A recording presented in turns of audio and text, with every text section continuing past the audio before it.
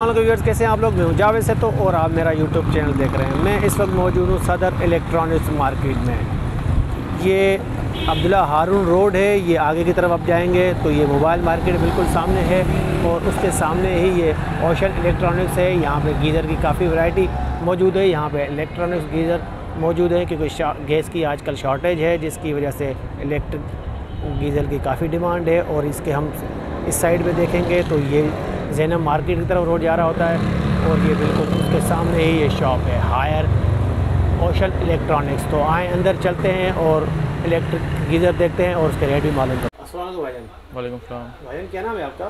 बाबर हुसैन। बाबर भाई एक तो मुझे इलेक्ट्रिक गीज़र दिखाएगा उसके अलावा थोड़ा यहाँ का एड्रेस भी समझा दीजिएगा।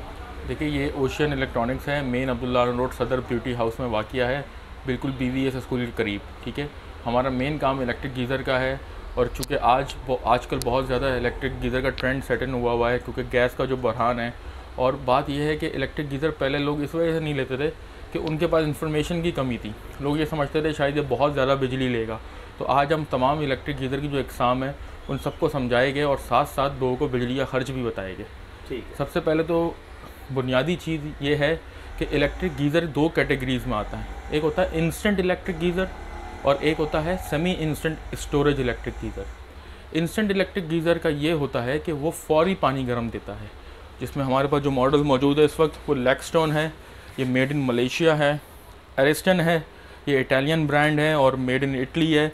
एरिसन के जिस तरह मैंने आपको दिखाया, ये दो मॉडल है, एक क्लासिको एक और स्लिम पूरे मिडल ईस्ट में, पूरे सऊदी अरेबिया में और पूरे यूरोप में, क्योंकि ये इटालियन कंपनी है तो इनका बहुत बड़ा होल्ड है बहुत बड़ी मार्केट इनके पास यूरोप में है मिडिल ईस्ट में है और हम भी ये बाहर से ही इंपोर्ट करते हैं। ठीक है? ये बिल्कुल इसको दिखा सकते हैं। ये इंस्टेंट गीज़र है। अब इंस्टेंट गीज़र में होता क्या है कि ये बिजली पैंतीस सौ वाट लेते हैं। पैंतीस सौ वाट का मतलब होता है three point five kilo watts और इनका जो इसके अंदर कोई स्टोरेज टैंक नहीं होता एक डिवाइस होती है।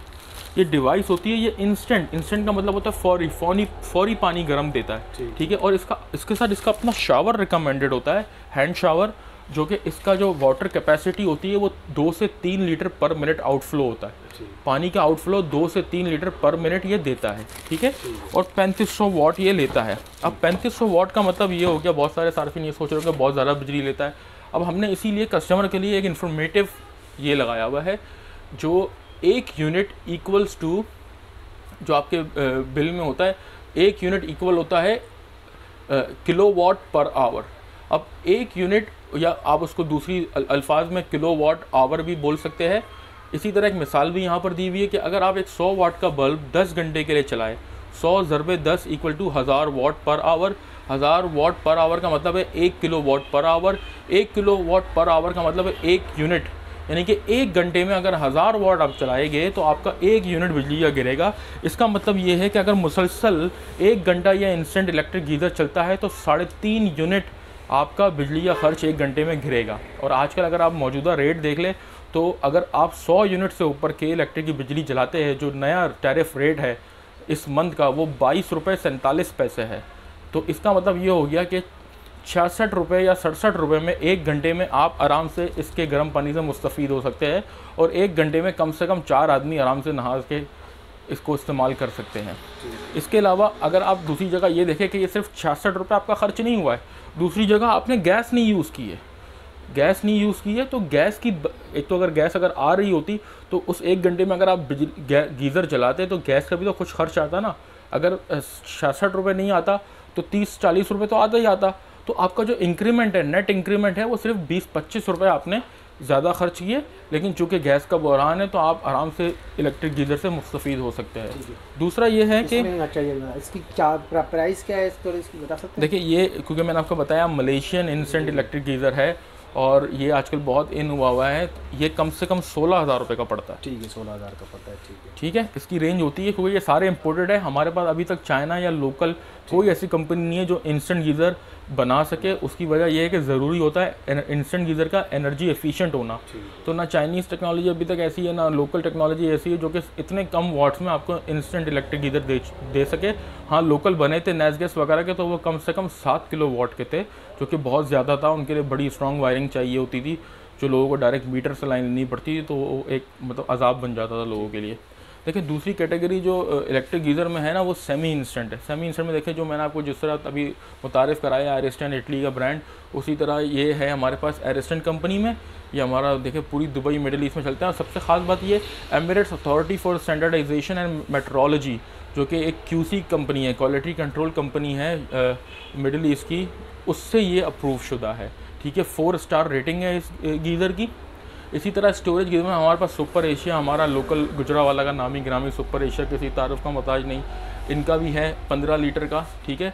और देखिए एरिस्टन की बात यह है कि ये 1200 वाट 1200 वाट पे चल रहा है और सुपर एशिया 2000 वाट पे, क्योंकि चाइनीज़ टेक्नोलॉजी है और ये यूरोपियन टेक्नोलॉजी है तो एनर्जी एफिशिएंट है और इसका मतलब ये होगा कि एक घंटे में एक अशारिया दो यूनिट और इसका एक घंटे में अगर मुसलसल चले तो दो यूनिट का खर्च है।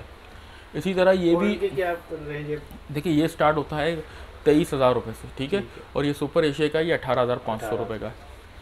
इसी तरह हमारे पास ये एरिस्टन का ये थर्टी लीटर जिस तरह ये पंद्रह लीटर की कैपेसिटी में था तो ये तीस लीटर की कैपेसिटी में है। ये भी मेड इन इटली है और ये भी केवल 1200 वाट्स पर है। एनर्जी एफिशिएंट मॉडल है जो कि आपका अगर मुसलसल तीस लीटर की आपको आउटफ्लो देगा कैपेसिटी देगा और उसके साथ साथ इसके अंदर इटालियन थर्मोस्टेट है इटालियन इसके अंदर एलिमेंट लगा हुआ है और ये बिजली का खर्च इसका भी एक घंटे में एक अशारिया दो यूनिट मतलब बाईस, तेईस पच्चीस रुपये में आप एक घंटे में इससे मुस्तफ़ हो सकते हैं। और अगर आप गैस का खर्च माइनस करें तो नेट इंक्रीमेंट आपका कोई पाँच, सात रुपये ही आना है, जो इजाफी आपने देना है। क्योंकि एमरजेंसी यूज़ होता है, सर्दी है, आपको गर्म पानी चाहिए बच्चों के स्कूल्स के लिए, अपने ऑफ़िस के लिए, सुबह पानी ठंडा होता है तो आपका कोई ज़्यादा खर्च नहीं होगा इसमें। ठीक है इसके अलावा अगर आप और वैरायटी में चले जाए तो हमारे पास लोकल में देख रहे ये वेलकम का है ये गुजरा वाला का है इसमें उसी ये गुजरा वाला का तो है हमारी लोकल प्रोडक्शन है ठीक है और ये भी तमाम क्यूसी के इधारों से अप्रूव्ड है और साथ साथ ये 50 लीटर का है इसमें 2000 वाट का एलिमेंट है ठीक है इटालियन एलिमेंट है और ये सिक्स हार्ड ये हॉट है ये कोल्ड है ये ठंडे की लाइन होती है ये गर्म की लाइन होती है। अच्छा, ठीक है इसका भी अगर आप खर्च देखें तो ये एक घंटे में आपको 50 लीटर की आउटफ्लो कैपेसिटी देगा और साथ में 2000 वाट का एलिमेंट है तो एक घंटे में दो यूनिट गिराएगा। ठीक है इसके अंदर भी जो एलिमेंट है और थर्मोस्टेट है वो इटालियन लगा हुआ है। ठीक है बिल्कुल सेफ़ एंड सिक्योर है। इसके अलावा इसमें सिक्सटी लीटर कैपेसिटी का भी है। और जो एरिस्टन का मैंने आपको इससे पहले पंद्रह और तीस मुतारफ़ कराया उसके बाद ये फिफ्टी लीटर्स में है मेड इन इटली ठीक है? और इसी तरह इसमें एटी लीटर्स है। और सुपर एशिया का जो मैंने आपको पंद्रह लीटर का मुतारफ़ कराया तो ये तीस लीटर का भी हमारे पास सुपर एशिया है टैंक वाला। तीस लीटर पर आर इसकी कैपेसिटी है आउटफ्लो की और 2000 वाट में है। और एरिसन की देखिए, खास बात यह है कि मैंने आपको वैसे बताया, ये एनर्जी एफिशिएंट है, जिस तरह छोटे वाले 1200 वाट में है तो अब जितना बड़ा हो रहा है, ये 1500 वाट से ऊपर नहीं है। यहाँ लिखा हुआ देखिए इसकी डिस्क्रिप्शन ये केवल 1500 वाट लेगा मतलब डेढ़ यूनिट घंटे में लेगा, डेढ़ यूनिट ठीक है, और आपको एक घंटे में ये पचास लीटर की गर्म सप्लाई देगा आराम से। और इनकी क्या रेंज है? कहाँ से स्टार्ट है? देखिए अगर आप एरिसन की बात करें तो एरिसन का ये 50 लीटर वाला चालीस हज़ार रुपये का है। इसी तरह ये 80 लीटर पैंतालीस हज़ार रुपये का है। और अगर आप इनकी बात करें हमारे लोकल प्रोडक्शन जो कि सुपर एशिया और वेलकम के हैं जो गुजरावाला की बड़ी इंडस्ट्रीज़ है तो ये वेलकम कंपनी का जो है ना ये ये फिफ्टी लीटर्स का है ये है सोलह हज़ार पाँच सौ रुपये का। और ये सिक्सटी लीटर है ये सत्रह हज़ार पाँच सौ रुपये का है। और सुपर एशिया का ये वाला हमारे पास तीस लीटर का ये भी इम्पोर्टेड बना हुआ है ठीक है? और ये है बाईस हज़ार रुपये का। इसके अलावा कोई और है इसके अलावा देखिए अगर लोकल लोकल में जाए वेलकम का ये पैकिंग है। अगर आप लोकल में चले जाए तो हमारे पास गुजरा वाला के इस तरह के लोकल्स बने हुए हैं जो कि बारह दस और दस और बारह हज़ार रुपये की रेंज में है। ये वाला ठीक है? ये वाला बारह हज़ार रुपये का है। इनकी कैपेसिटी क्या है? इनकी कैपेसिटी गैलन में होती है ये आठ गैलन है ये बारह गैलन है। मैं आपको आजकल लोगों का ये खदशा होता है कि हम इलेक्ट्रिक गीज़र यूज़ करें और करंट लगने का ख़तरा है तो मैं आपको ये बता दूँ कि देखिए जब जितने भी हमारे पास ये जो इम्पोर्टेड गीज़र्स हैं ना, इनकी अगर आपको मैं डिस्क्रिप्शन बताऊँ तो इनके अंदर एक built in E L C B system लगा हुआ होता है। जो built in E L C B system होता है ना, वो किसी भी इंसानी जान पर अगर करंट का फ्लो शुरू होता है, उसी वक्त वो सप्लाई को कट ऑफ़ कर देता है। अगर आप यहाँ फोकस करें तो built in are power supply cuts off in the event of current leakage ठीक है जितने ये बाहर के इम्पोर्टेड गीज़र हैं इन सब में इस चीज़ का ख़ास ख्याल रखा जाए जाता है। उनकी क्यूसी नहीं होगी अगर ये प्रोटेक्शन नहीं होगी। इसी तरह एरिस्टन वगैरह में भी ये सारी प्रोटेक्शन है। ठीक है? हाँ हमारे लोकल गीज़र में ये प्रोटेक्शन नहीं है लेकिन उसमें भी देखिए बिजली का कोई इतना करंट लगने का कोई चांस नहीं होता क्योंकि अगर आपका एलिमेंट ख़राब हो जाता है तो वो पानी गर्म ही नहीं करता। पानी वो गर्म ही नहीं करता तो आपको पता लग जाता है कि इसका एलिमेंट ख़राब हो गया और उससे करंट का फ्लो ही ख़त्म हो जाता है।